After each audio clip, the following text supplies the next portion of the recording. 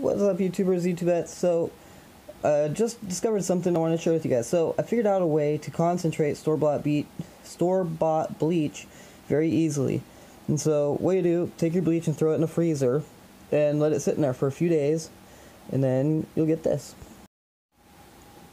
Alright, so in here you can hear it's still all ice in here except for the sodium hypochlorite, which this was only about two thirds full from the very beginning, um, because I used some out of it.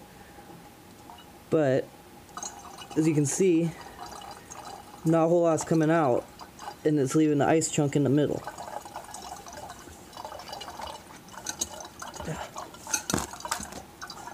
And so, anyways, um, with what it's gonna leave, it'll be all the water frozen in the tub. I mean, I'm sure it's gonna miss some of it, but this will get a huge majority of the water gone very easily.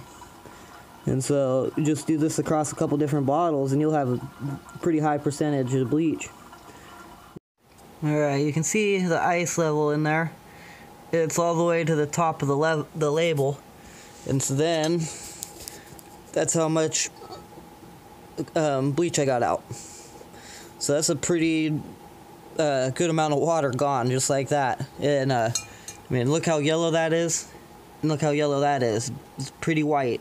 So you can tell there's not a whole lot of chlorine left in there. So yeah. Anyways, pretty awesome discovery. Just thought I'd share that with y'all. Anyways, till next time.